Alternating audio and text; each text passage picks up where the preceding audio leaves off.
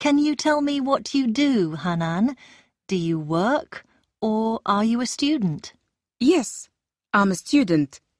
I'm studying medicine because I want to be a doctor. At the moment, I'm studying English as well because I hope to do part of my degree course in Australia. And where do you come from? I come from Mutra in Oman. Can you describe Mutra a little bit for me? Yes. It's quite a large city by the sea and also near the mountains. It's very beautiful and very old. It's very hot in the summer, but the winter is usually very pleasant. Also, Mutra is an important port.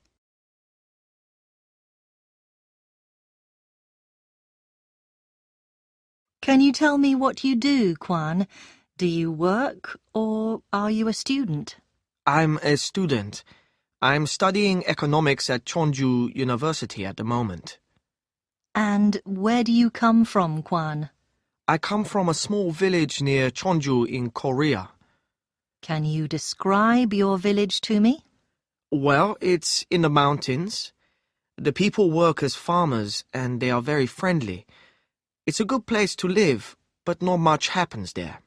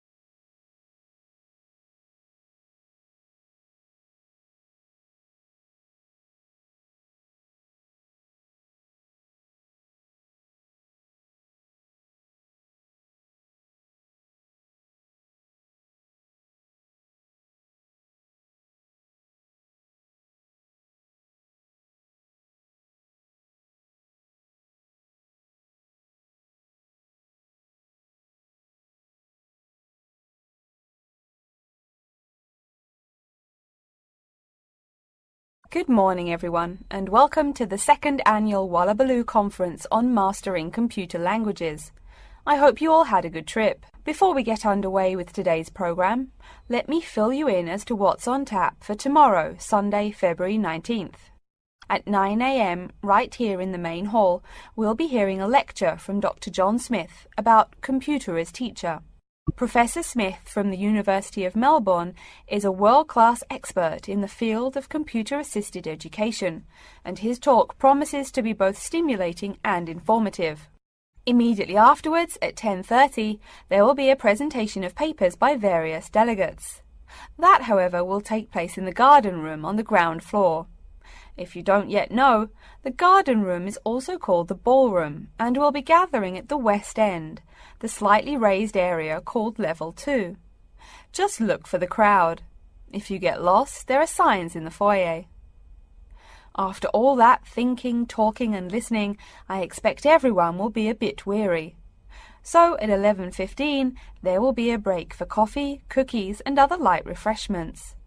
These will be available at the aptly named refreshment stand, placed by the door back here in the main hall. Also, if you choose to skip the formal lunch, you can buy a packed lunch at the stand for a reasonable price. I strongly urge you, however, to join us at the formal lunch. That won't be till one o'clock sharp, so you have time to stroll about town a bit. We'll be eating at the Seaview restaurant. The restaurant is located right here in the hotel on the top floor. It's a good dozen flights of stairs, so I suggest you take the lift on the ground floor, eh? If you're not fond of fish, there's an all-you-can-eat barbecue available as well. They even offer wallaby meat. After lunch, we'll troop back downstairs to level 2 in the ballroom for the presentation of further papers, which will begin at 2 p.m. Please try to be on time. I know you'll be a bit tired after lunch, but the ballroom echoes so with people coming in late. Thank you in advance. Once we've heard the papers, we'll break for afternoon tea at 3:10 p.m. No need to walk. The manager of the refreshment stand has graciously agreed to have tea served in the ballroom. He's even promised us some special scones, baked from a recipe of his dear old Scottish grandmother. Then, tea being drunk and scones munched, we'll retire here to the main hall for some closing remarks and questions. So, by five o'clock, we should have the conference wrapped up. But the fun isn't over. This is Australia, mates. We'll be flocking to the hotel's own Palm Lounge on the east side of the foyer for an informal reception. You can relax, mingle with the other delegates, and let your hair down a bit. This will run from 5.10 to 6.10, though you're free to stay as long as you like. The lounge manager has informed me that for the duration of the actual reception, you can have all you can drink beer for $20 with purchase of an advance ticket.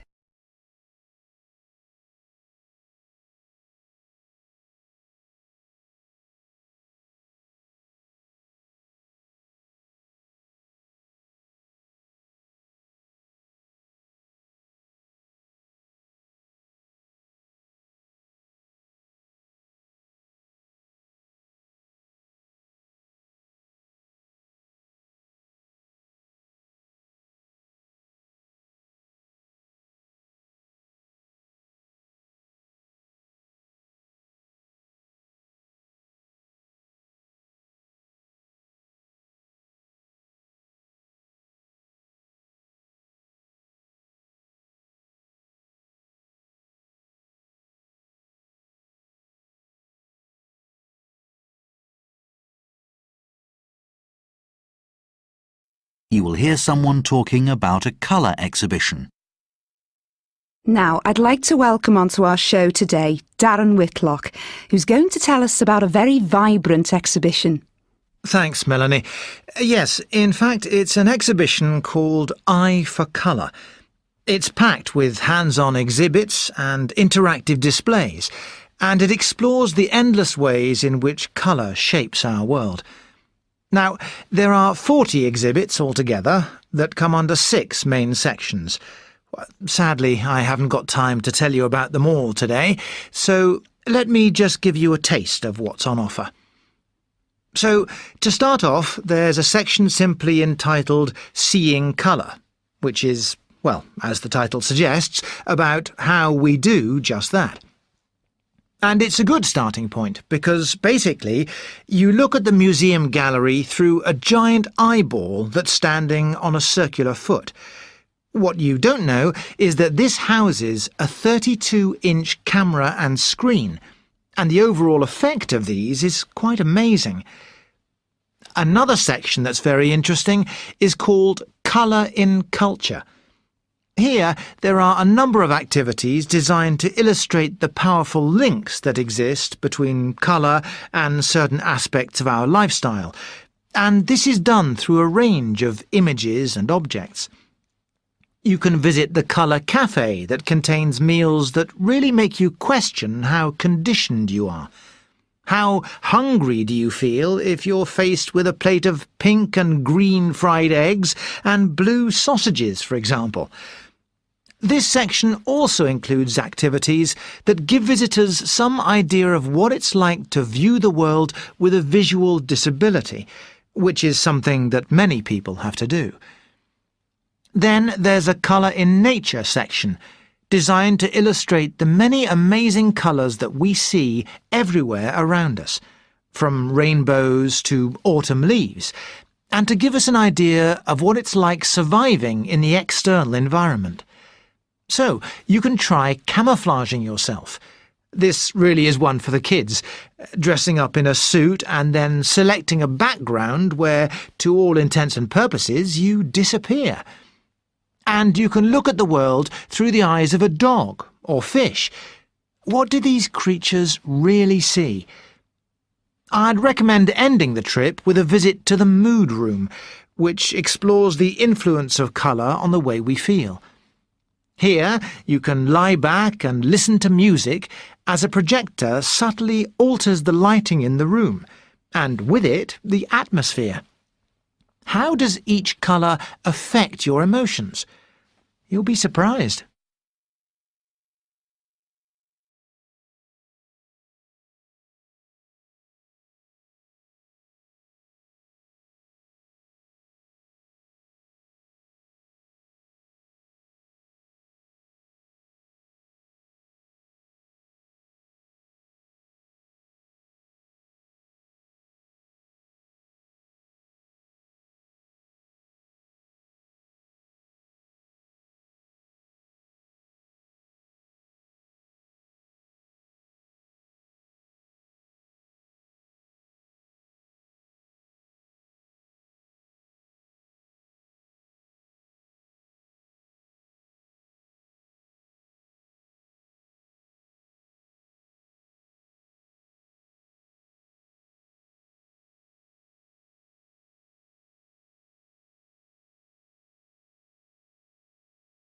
Morning, Stretton Festival box office. Morning, Stretton Festival box office. How can I help you? Oh, hello. My family and I are on holiday in the area, and we've seen some posters about the festival this week. Could you tell me about some of the events, please? Of course. First of all, are there still tickets available for the jazz band on Saturday? There are, but only £15. The £12 seats have all been sold. OK, and the venue is the school, isn't it? Yes, that's right. The secondary school. Make sure you don't go to the primary school by mistake. And there's an additional performer who isn't mentioned on the posters. Carolyn Hart is going to play with the band. Oh, I think I've heard her on the radio. Doesn't she play the oboe or flute or something? Yes, the flute.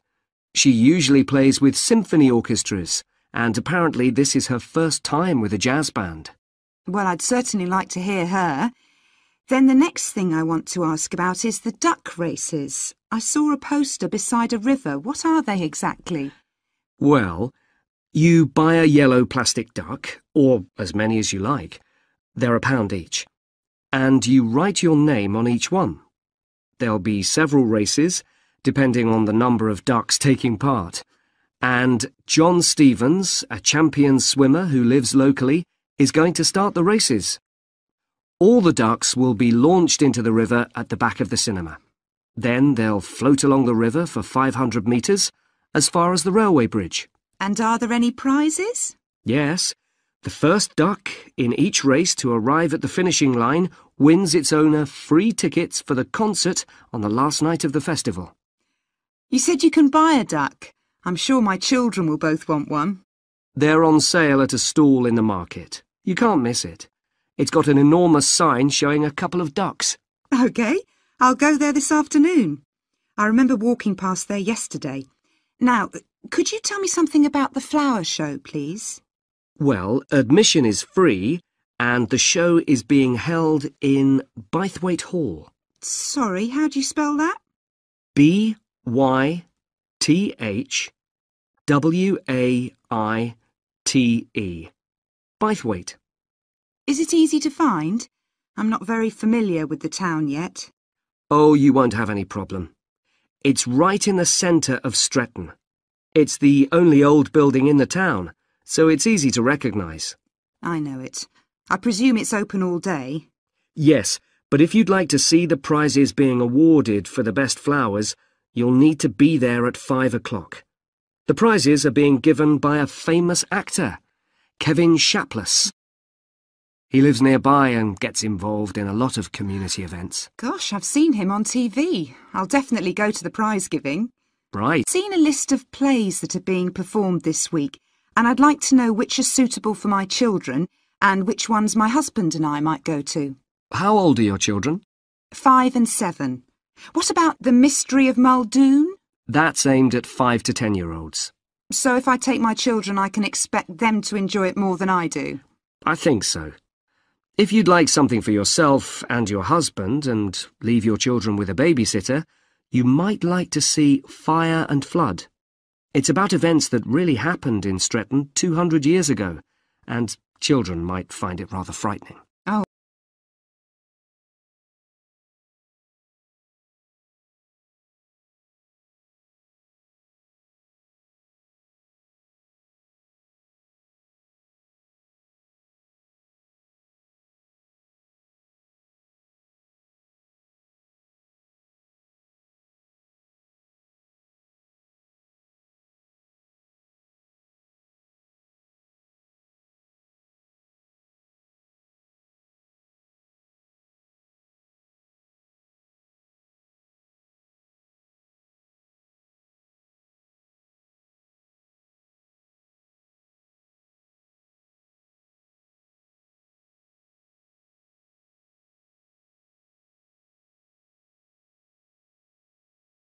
Sorry I'm late. Hi, Jeremy, no problem.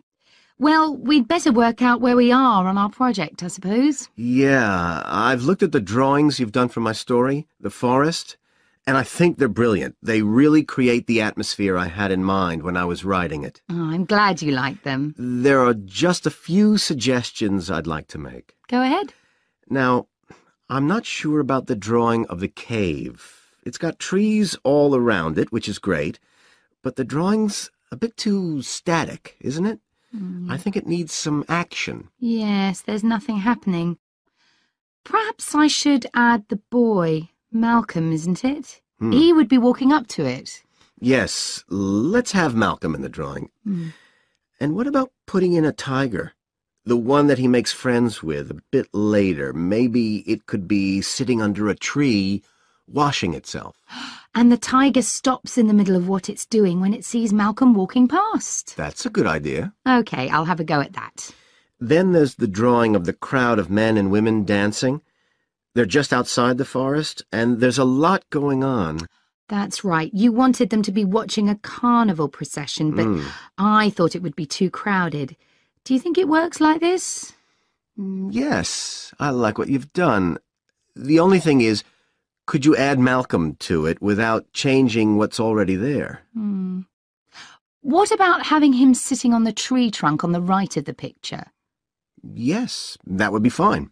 And do you want him watching the other people? No, he's been left out of all the fun, so I'd like him to be crying. Hmm. That'll contrast nicely with the next picture where he's laughing at the clowns in the carnival. Right, I'll do that. And then the drawing of the people ice skating in the forest. Hmm, I wasn't too happy with that one. Because they're supposed to be skating on grass, aren't they? That's right, and it's frozen over. At the moment, it doesn't look quite right. Hmm, I see what you mean. I'll have another go at that. Hmm, and I like the wool hats they're wearing. Maybe you could give each of them a scarf as well? Yeah, that's easy enough. They can be streaming out behind the people to suggest they're skating really fast. Hmm, great. Well, that's all on the drawings. Right. So you finish writing your story, and I just need to finish illustrating it, and my story and your drawings are done. So the next thing is to decide what exactly we need to write about in the report that goes with the stories, and how we're going to divide the work. Right, Helen. What do you think about including a section on how we planned the project as a whole, Jeremy? That's probably quite important. Yeah, well, you've had most of the good ideas so far. How do you feel about drafting something? Then we can go through it together and discuss it. Okay, that seems reasonable. And I could include something on how we came up with the ideas for our two stories, couldn't I? Well, I've started writing something about that, so why don't you do the same and we can include the two things? Right. So, what about our interpretation of the stories? Do we need to write about what we think they show, like the value of helping other people, or that sort of thing? That's going to come up later, isn't it? Hmm. I think everyone in the class is going to read each other's stories and come up with their own interpretations, which we're going to discuss. Oh, I missed that. So it isn't going to be part of the report at all. No. But we need to write about the illustrations because they're an essential element of children's experience of reading the stories. Hmm. It's probably easiest for you to write that section as you know more about drawing than I do. Maybe, but I find it quite hard to write about. I'd be happier if you did it. Okay. So when do you think we can...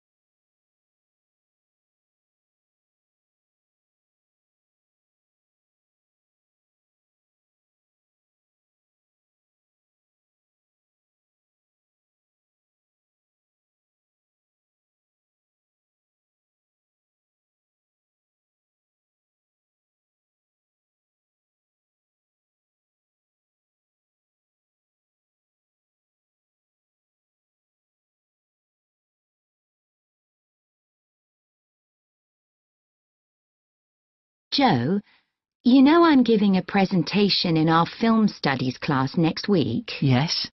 Well, could we discuss it? I could do with getting someone else's opinion. Of course, Katie. What are you going to talk about? It's about film adaptations of Shakespeare's plays. I've got very interested in all the different approaches that film directors take. Uh-huh. So I thought I'd start with Giannetti, who's a professor of film and literature, and in one of his books he came up with a straightforward classification of film adaptations based on how faithful they are to the original plays and novels. Right. I've already made some notes on that, so I just need to sort those out before the presentation. I thought that next I'd ask the class to come up with the worst examples of Shakespeare adaptations that they've seen, and to say why. That should be more fun than having their favourite versions. Yes, I can certainly think of a couple. right. Next, I want to talk about Rachel Malchow. I came across something on the internet about her work on film adaptations, and I was thinking of showing some film clips to illustrate her ideas. Will you have enough time, though, both to prepare and during the presentation? After all, I doubt if you'll be able to find all the clips you want. Hmm, perhaps you're right. OK, well, I'd better do some slides instead, saying how various films relate to what she says. That should encourage discussion. Hmm. Next, I want to say something about how plays may be chosen for adaptation because they're concerned with issues of the time when the film is made. You mean things like patriotism or the role of government? Exactly. It's quite tricky, but I've got a few ideas I'd like to discuss. And finally, I want to talk about a few adaptations that I think illustrate a range of approaches and make some comments on them.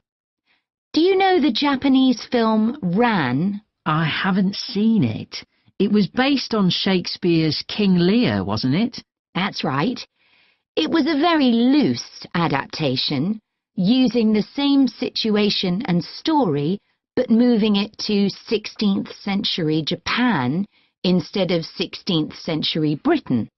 So, for example, the king's daughters become sons, because in Japanese culture at that time, women couldn't succeed to the throne. OK. I hope you're going to talk about the 1993 film of Much Ado About Nothing. I think that's one of the best Shakespeare films. It really brings the play to life, doesn't it? Yes, I agree. And I think filming it in Italy, where the play is set, makes you see what life was like at the time of the play. Absolutely. Right. What's next?